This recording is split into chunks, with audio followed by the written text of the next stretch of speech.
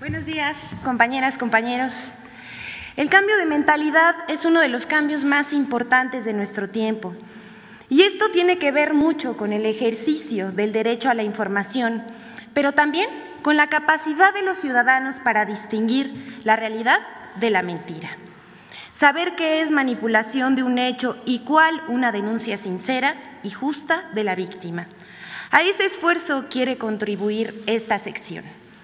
Pero si mentir es decir o manifestar lo contrario de lo que se sabe, cree o piensa, según el diccionario de la lengua española, eso quiere decir que cuando los medios publican algo que no es verdad, muchas veces lo hacen con la intención de engañar. En cambio, aquel ciudadano que es engañado o confundido por esa información y la reproduce como verdadera, no está mintiendo. Simplemente transmite su propia equivocación su creencia en la mentira. Esto es importante de tomar en cuenta porque todo en el debate en las redes sociales casi criminalizan a quien difunde noticias falsas. Por eso es muy importante revelar el engaño, porque engañar significa dar a la mentira apariencia de verdad, con la intención de que el público crea como cierto lo que no es. Esto quiere decir que el engaño incluye una voluntad y una intención de distorsionar la realidad, de mentir. Eso afecta el debate público y el derecho ciudadano a la información. Así como en el neoliberalismo la corrupción ha sido su sello distintivo, el engaño y la desinformación han sido mecanismos informativos de los que los medios ocultaron y justificaron eh, el saqueo y la corrupción en nuestro país. Hoy el debate público abierto e informado se enfrenta a esos intereses y manipulaciones del pasado, pero hay más conciencia de interés público y la cultura democrática, así como mayor participación ciudadana en los asuntos públicos. Bueno, ahora sí vamos con nuestra sección.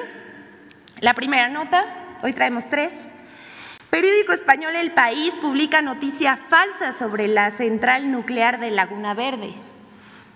El 5 de noviembre el periódico español El País publicó una nota periodística titulada Alerta roja en la central nuclear de Laguna Verde por un apagón, en la que asegura que la planta desde el 30 de octubre sufrió una paralización temporal por una falla en el reactor que la habría dejado sin electricidad. La pieza periodística señala que es la segunda vez que esto ocurriría en la central nuclear. El país incluso agregaba que se dio un derrame de agua radiactiva y se declaró alerta roja. Toda esa información es falsa. Al respecto, la Comisión Federal de Electricidad desmintió al país y señaló que la central nuclear de Laguna Verde opera de manera segura y confiable. La CFE puntualizó que los documentos citados por el diario son de acceso abierto a todos los trabajadores y que no hay pruebas técnicas que mm, avalen lo publicado. Con amarillismo se usaron registros internos de la central, pero distorsionaron para hacerlo alarmista. Todo ello, según la CFE, resulta hasta sospechoso, porque el diario español cita fuentes anónimas en una nota que puede provocar alarma entre la población. Con el mismo amarillismo, el 8 de noviembre, el periódico Excelsior volvió a abordar el tema. Pero ¿cuáles son los hechos reales? Veamos.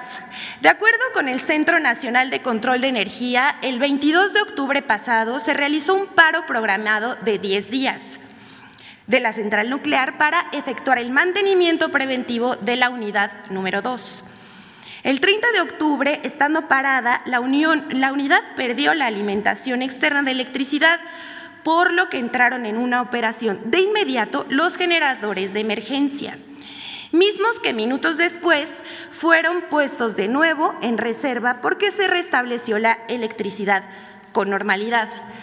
De manera independiente de ese asunto, hubo un derrame de agua, pero no fue líquido radioactivo como afirmó el diario, citando fuentes anónimas, y nunca hubo riesgo alguno de, eh, ni para los trabajadores de la planta ni para la población. La unidad 2 entró en operación una vez que terminó el mantenimiento y hoy la central está operando al 100% de su capacidad. aportando el 2% de la electricidad en el país. La central nuclear de Laguna Verde sigue los más altos estándares de seguridad. En cambio, el diario El País no sigue ni siquiera su propio libro de estilo, que marca las pautas periodísticas del diario, incluida la ética. La siguiente, por favor. Reforma falsea información sobre la planta eléctrica de Petacalco, Guerrero, la más grande del país. El periódico Reforma publicó una nota en la que afirmó que la central carboeléctrica de Petacalco en Guerrero dejará de operar debido a supuestos daños de sus equipos por usar combustóleo y la presunta cancelación de contratos para la compra de carbón, eh, que dice jugaron un papel importante para que dicha central quedara fuera de operación.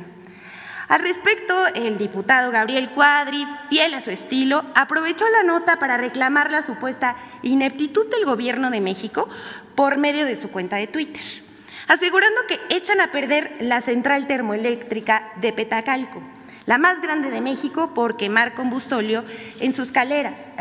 Perdón. Todas esas informaciones son falsas. La Comisión Federal de Electricidad y su director general desmintieron esas publicaciones. Aseguraron que la central de Petacalco es dual, que funciona con diferentes combustibles y que está operando con normalidad. El SENACE informó que la planta cerró unos días para recibir mantenimiento y que no tiene ninguna falla. Es mentira también que no se esté suministrando suficiente combustible en la central, ya que se le ha suministrado por vía terrestre y marítima cuando las vías del tren no están disponibles.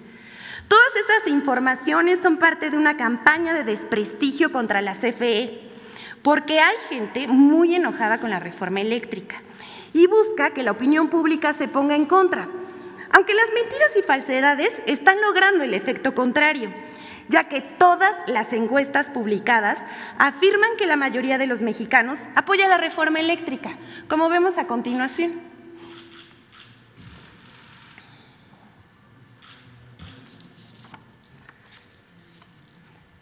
El 63.8% de los mexicanos está a favor de la reforma eléctrica, apunta sondeo. Esa es la encuesta del Gabinete de Comunicación Estratégica.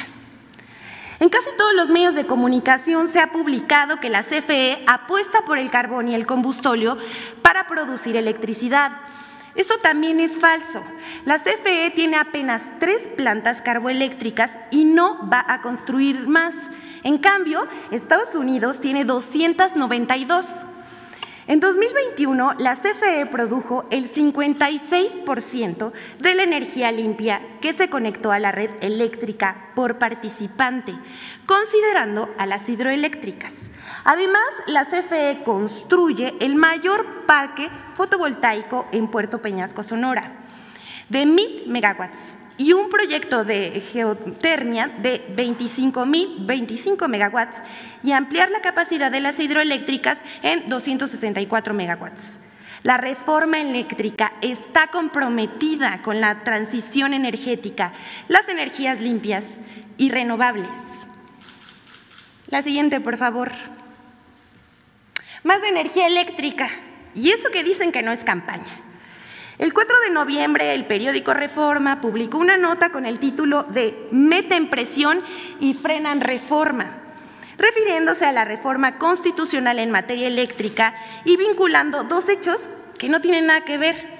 Primero, una carta del congresista de Estados Unidos al secretario de Estado, Anthony Blinken, y a otros funcionarios en la que expresa preocupación por la reforma eléctrica además de las declaraciones de Ken Salazar sobre el mismo asunto. El diario publicó que debido a esa presión de Estados Unidos se había frenado la reforma y pospuesto la discusión hasta abril. Pero la reforma eléctrica no ha sido frenada, según aclararon los mismos legisladores, y el proceso de discusión con el Parlamento abierto iniciará una vez concluida la aprobación del presupuesto. Aquí podemos ver la nota y pues juzguen ustedes. Hasta aquí la sección de hoy. Muchas gracias. Gracias, señor presidente.